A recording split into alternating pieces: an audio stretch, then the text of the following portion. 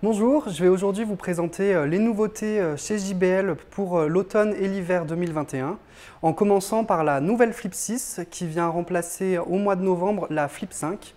Nouveauté qu'on a sur ce produit, c'est qu'elle intègre deux haut-parleurs, un haut-parleur de médium et un haut-parleur d'aigu, contrairement à la Flip 5 qui avait uniquement un haut-parleur de médium.